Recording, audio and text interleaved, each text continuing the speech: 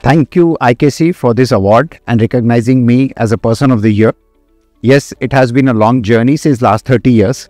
The initial stage of the journey has been little uh, challenging because of the lack of uh, you are at a stage at the initial stage where nothing was uh, existing. So we being a pioneer, you have to discover everything on your own, whether it's a technology, whether it's a product design. So so there was no reference available.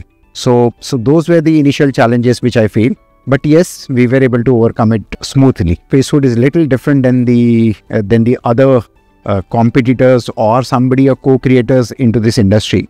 Spacewood actually is more on a product innovation side, more on a, a lifestyle design side as compared to other companies.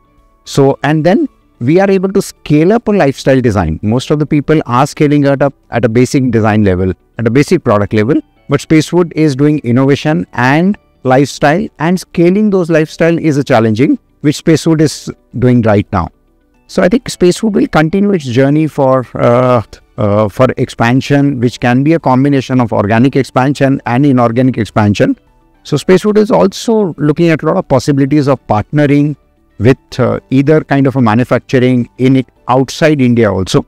So we are looking at possibilities of manufacturing in Africa, maybe in somewhere in UAE, and of course there will be a lot of uh, uh, I would say emphasis or going to be focus on the export side. Thank you.